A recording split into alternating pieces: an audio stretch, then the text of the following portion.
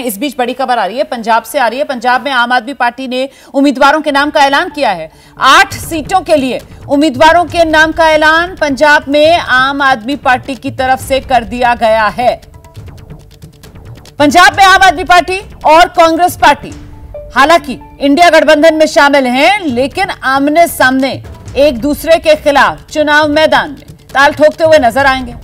और ऐसे में आम आदमी पार्टी की तरफ़ से आठ सीटों के लिए उम्मीदवारों के नाम का ऐलान पंजाब में कर दिया गया है। जैसे ही घड़ी का काटा दोपहर ढाई पे आए, बबीता जी का दिल सास बहू साजिश के लिए मचल जाए।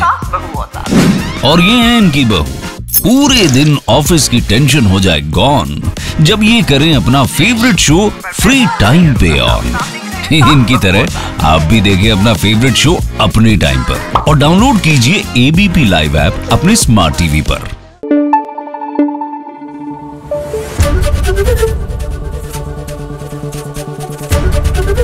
ABP news.